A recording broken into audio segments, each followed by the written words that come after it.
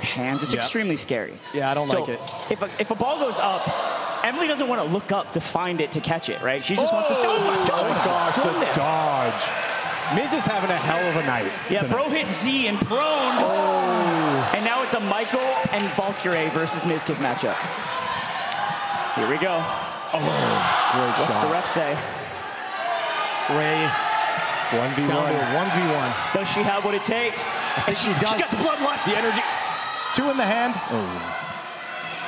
Nothing is found. Now This it's is not impossible here. This kid is back on the aggression. I mean, they both have balls. It all comes down to who could land the shot first. Oh, Good great block. block.